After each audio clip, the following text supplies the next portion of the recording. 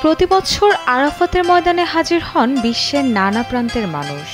হজের আনুষ্ঠানিকতা শেষে সেখানে দেওয়া হয় পশু কোরবানি। বিশ লাখেরও বেশি মানুষ হজ পালন শেষে কোরবানি দিয়ে থাকেন। লাখ লাখ পশুর বিপুল পরিমাণ মাংস নিজেরা আর কতটাই বা ভোগ করেন। বিদেশে দেবার মতো আত্মীয় স্বজনও নেই। দুস্থ মিসকিনও নেই বললেই চলে।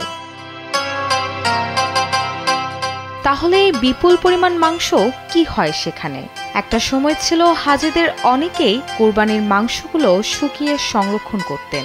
কেউ আবার নিরুপায় হয়ে রাস্তায় ফেলে দিতেন। অনেকে প্রক্রিয়াজাতকরণের বিড়ম্বনায় মাংস মাটিতেই পুঁতে ফেলতেন, যা শুধু অপচয় না, পরিবেশেরও ক্ষতি করত। ওয়ালটন ফ্যানের অ্যারোডাইনামিক ব্লেড ঘরের কোনায় কোনায় ঠান্ডা বাতাস ছড়িয়ে হাওয়া বদলে নেয়।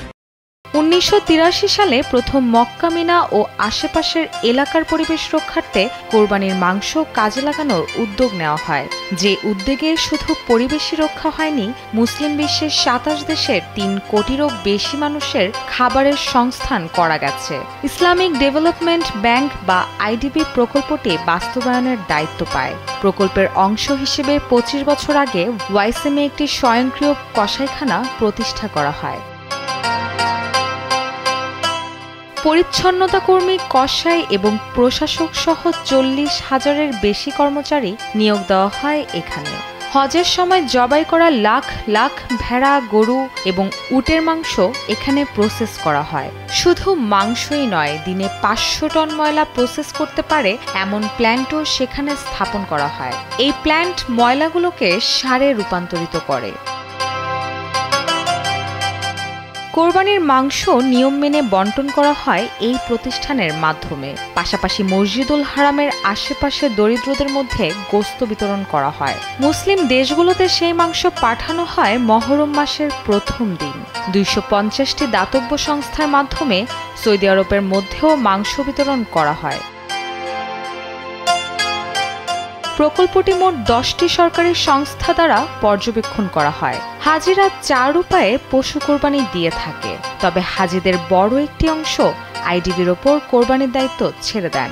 এতে সময় ও ঝঞ্ঝাট থেকে বাঁচা যায়। আবার প্রতারিত হওয়ার শঙ্কাও থাকে না। কোরবানির জন্য একজন হাজিকে আটশো রিয়েলের মতো জমা দিতে হয়। পশুর দাম কষাইখানার খরচ, মাংস সংরক্ষণ ও দেশে দেশে গরিব মুসলিমদের মধ্যে মাংস বিতরণের খরচও এর মধ্যে সামিল থাকে। আইডিবির সেই প্রকল্পের অংশ হিসেবে প্রতি বছর বাংলাদেশেও আসে দুম্বার মাংস। সেই মাংস দরিদ্রদের মাঝে বিতরণ করা হয়।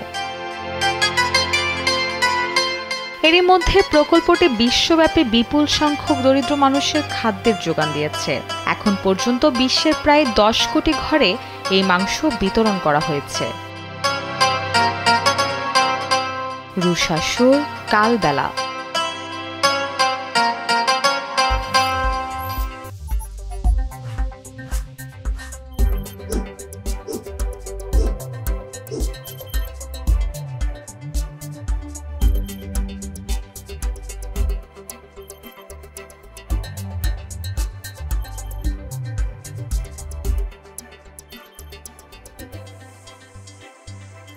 Bye.